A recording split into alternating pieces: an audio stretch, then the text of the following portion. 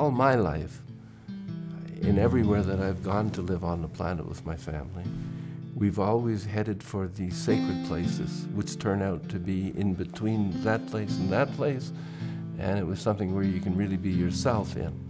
I was a year and a half old starting to make beeswax candles with my shamanistic Bruja grandmother.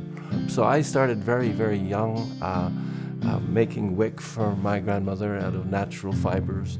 And uh, so I, uh, prog I progressed from there to, uh, she allowed me to dip the candles after, when I got old enough, into the hot wax. And then I got to learning how to drip them. And generation after generation, for thousands of years, this has been in our family.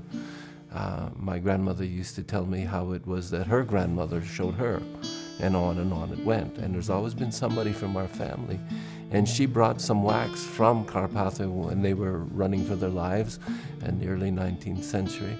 And uh, some of that wax was dumped into the original vats, and we always take wax from the old vat and then add it to the next vat.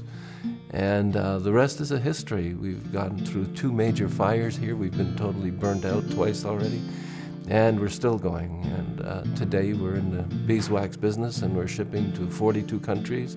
We have up to 23 staff.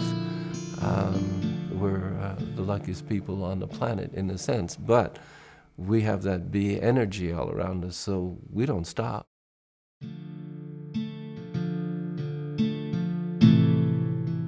Our little shop is where we display the products that we make. We make an extensive line of pure beeswax candles.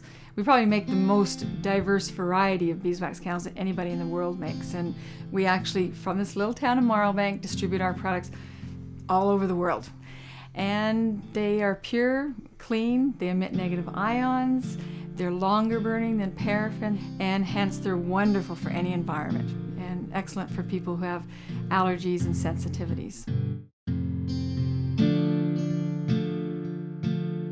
We've been very blessed to be on this property of Philoxia for 36 years. And our journey here was an interesting one. It, it started all with the way from the roots of Guatemala.